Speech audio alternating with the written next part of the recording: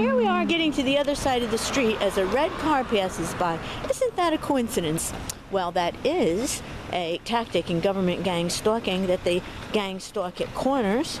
Got dog in one arm and I'm held, helping my brother with the other arm. Right here's the corner, and we just saw the red car. Now, when you take a look, you don't see other red cars. Just as we were crossing the street, isn't that interesting how that always occurs in Barack Obama's Stasi America?